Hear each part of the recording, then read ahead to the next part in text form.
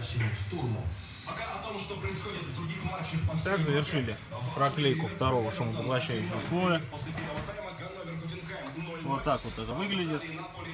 Все сплошным слоем. 0-0. Удинезе Беневенто 2 На полу, на полу в салоне и на дверях четвертым слоем завершающим проклеили.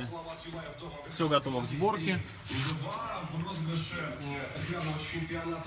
Делаем антискрип обшивок. Сочи Минск Халев там 36-25. До этого Приступаем ЦСКА сборке. 75-88. Химки в овертайме отдалили Также 90-87. на полу, на арках и крыльях материалы различной толщины.